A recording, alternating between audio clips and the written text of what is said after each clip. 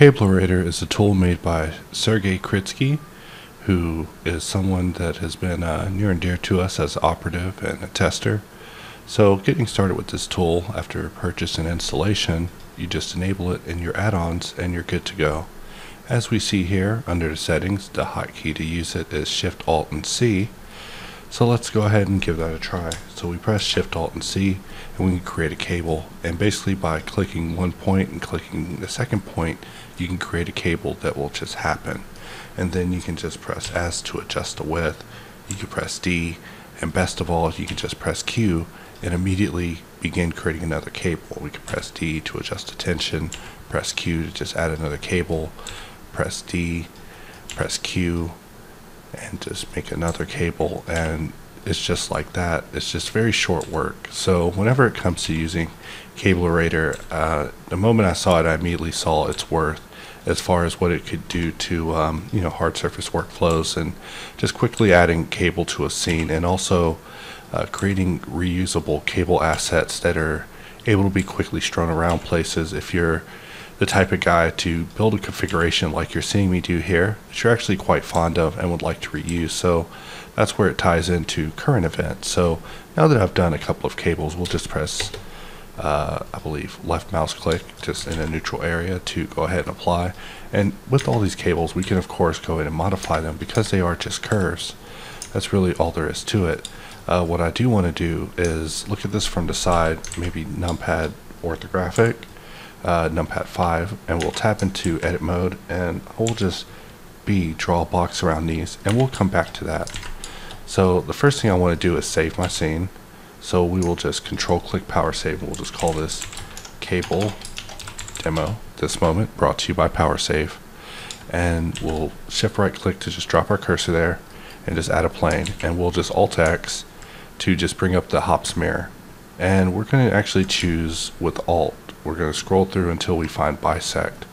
And by bisecting this, we can just grab this point and just control click mark in order to bevel this. And I'm just pressing 2 in order to reset the profile. I don't know, I'm just superstitious. Sometimes I do it, sometimes I don't. But it's not even necessary. But we'll go under profile and we'll just give this a custom profile. So what I'll do is mark this custom profile as uh, vector first and we'll just start off just drawing some points, just making an interesting piece, uh, letting the bevel do all of the work. Sometimes it's tough to create a point in between. If I wanted to, we could be very strict with our things and get things to line up by copying and pasting numbers here, but for sake of tutorial, we'll just keep it quick. So with this piece, I can just press Alt W to switch over to Hops tool, and with this dot, we can just grab this profile and just play with things. And that's really all there is to it. In fact, we can lower the amount of segments because it's not needed. We actually only need that many, 10. So after having only 10 segments, we're good to go. Now we can just add modifier and just choose screw. Except that's the wrong axis, so we'll press X to change it, X to change again, until we actually get the axis that we want. With this button, we can modify our profile, just rotate it, and still with Hops tool active, we can just grab the dot and just change the outcome of what this shape is actually going to become. If we like this profile, we can actually right click the dot, which will bring up the little mini help, uh, mini modifier panel for uh, the dot. And there's actually an option to save your profile. So we'll just save this profile. I'll just save this as profile 17 real quick. And with this shape made, now we're ready to go. So for the sake of simplicity, I'm just going to duplicate this and look at this from front mode and really get it oriented and rotated the way that I want. And then we're just going to apply rotation. Actually, first we'll convert visual geometry to mesh, then we'll apply rotation and apply scale. And if we were to select all of these at the same time and with one of these active and tab into edit mode, we can now press Alt Shift C in order to basically add connectors. And now connectors have been added to all of them. So if we just choose to press S, we can actually choose how far we want to offset them. Uh, if we want to offset the connector, we can just do that by pressing D.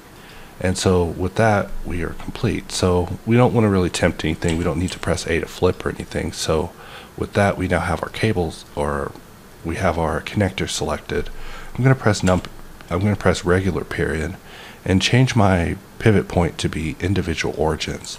And we're just going to scale each of these down till they're a reasonable size. Doesn't matter about the cables.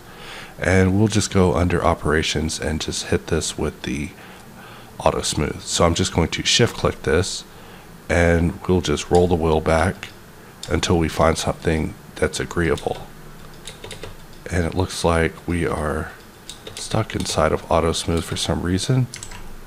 Alright, kind of weird, I'll check into that. But anyways, we'll select all of our cables here and press Q.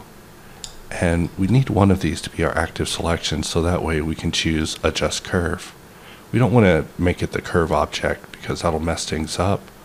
But with this, we now have created these interesting array of cable connectors. And that's really just how easy it is to actually get started with this tool. And I'm only really scratching the surface with it. Like there's so much more to this tool than what I'm showing here. I mean, you're also able to draw on top of surfaces, which also plan to be showing in future content as well. But I just want to give like a very cursory overview to some of the improvements that have came to Cablerator since it came out and how you can just get started with it to create something very interesting.